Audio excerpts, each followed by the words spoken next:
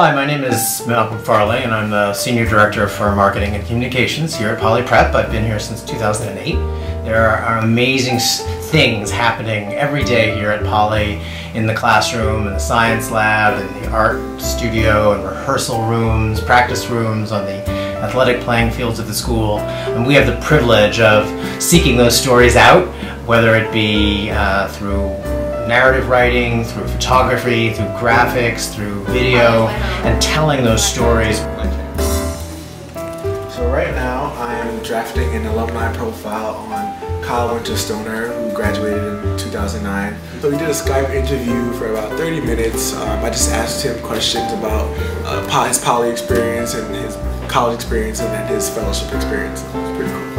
This article will be published in the Poly Pulse, um, hopefully sometime soon, so be on the lookout for that. Um, well, right now I'm in the archives room and I'm just looking for stuff through all the old boxes, stuff to put in the Poly magazine. Well, there's a lot of film negatives, like this one is from the 90s. It's um, It just shows football and tennis from that time period and we put photos like this in the magazine to show you know, what Poly used to look like. You're in the advancement office, which consists of the development office and uh, marketing and communications.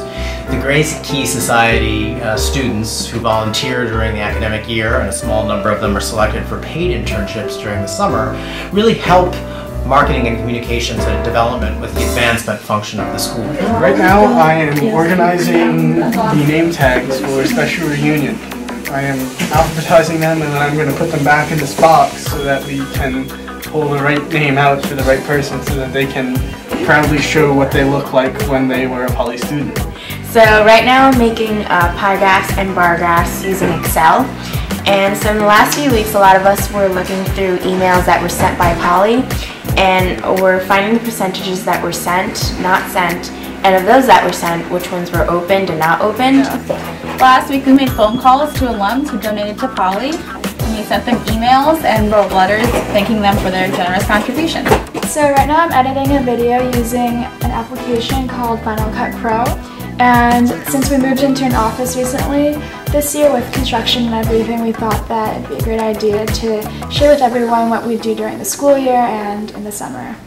I just finished working on the new family handbook, which is a compilation of policies, expectations, and procedures for pretty much every department in the school. It lets you know everything from attendance policies to dress code, um, athletics, academics, performing arts, um, procedures. We've been very privileged in the four years that uh, I've been here and working with Gray Key Society students to have some of, I think, our best and brightest kids at Poly who've just been a lot of fun to be around. I think they've had fun working with us. But we're also really looking for students who are excited by um, what Poly is and can be and who are willing to learn how we uh, work with our, our faculty or our, our, academic leadership to ensure that Poly is the best that can be. And, uh, my favorite part of Gray Key is interviewing and talking with uh, Poly alumni.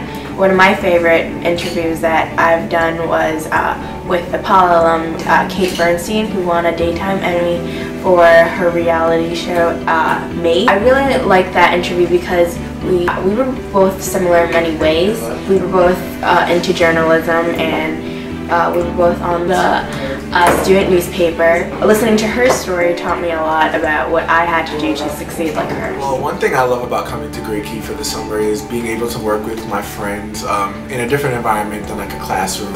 And also the fact that we get a hands-on experience like in the world of editing and writing. So one of the most memorable parts of working for Gray Key has really been the opportunity to understand the world of professional journalism. Key has given me the chance to draft my own articles and participate in the crucial process of revision. So from drafting articles and reviewing the revisions, I'm Rebecca Grossfield, the Associate Director of Marketing Communication. I've learned so much about how to write professionally for a publication and I think over the years she's really helped me improve my writing significantly.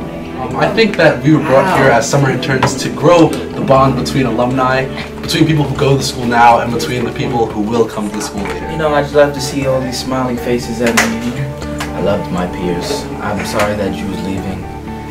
I'm gonna miss you.